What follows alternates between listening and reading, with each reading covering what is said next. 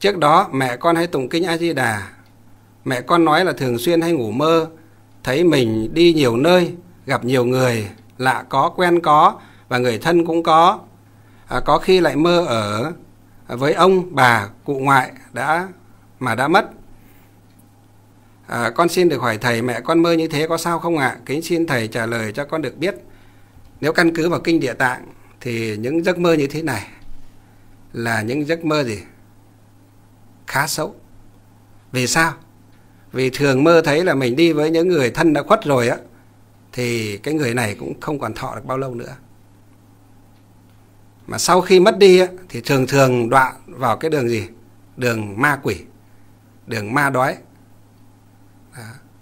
cho nên cái trường hợp này con phải gì? Phật tử con phải nhanh chóng à, khuyên mẹ niệm phật thật nhiều.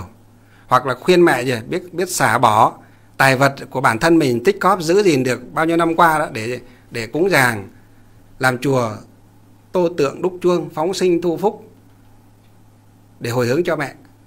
Phải đích thân mẹ phải bỏ cái đồng tiền của của mình ra. Ví dụ như là có đôi bông tai chẳng hạn, vẫn còn để dành chẳng hạn.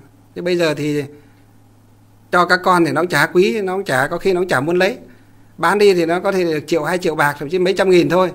Nhưng mà cái đó thì khuyên làm sao để cho cụ xả bỏ được những cái tài vật đó để làm cái công việc phúc thiện như kinh địa tạng nói. Ừ, giống như là quang mục, giống như là tiền, các tiền thân của bồ tát địa tạng đó. Vì hạnh hiếu, cho nên thì ngài sẵn sàng bán hết nhà cửa để sửa soạn trai nghi, cúng dường chư tăng và cúng dường đức phật, làm chùa, tô tượng, đúc chuông, vân vân. À, thì nay chúng ta chưa làm được cái việc gì như bồ tát địa tạng ấy thì chúng ta có thể khuyên mẹ nên xả bỏ tài vật mà mẹ tích cóp giữ gìn được bấy lâu nay thì không làm được, không làm khuyên bỏ tất cả thì cũng ít nhất cũng bỏ được một phần ba để làm những cái việc phúc thiện, hồi hướng cho mẹ, ấn tống kinh sách, cúng giảng tôn tượng, xây chùa, đúc chuông, vân vân. Phóng sinh tu phúc, đấy là những việc đại thiện đều có thể để hồi hướng cho cụ một thời gian sau. Thì cụ sẽ làm được như vậy thì một thời gian nguyện đem công trang nghiêm Phật tịnh độ. Trên đền bốn trọng ân. Giới cứu ba đường khổ. Nếu có ai thấy nghe, đều phát tâm bồ đề. Hết một báo thân này. Đồng sinh về cực lạc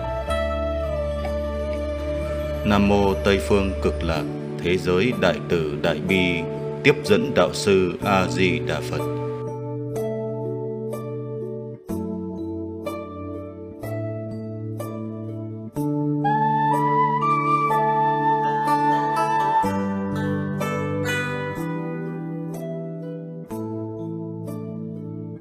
Nguyện tất cả chúng sinh đều tín niệm di đà đồng cầu sinh về nước cực lạc.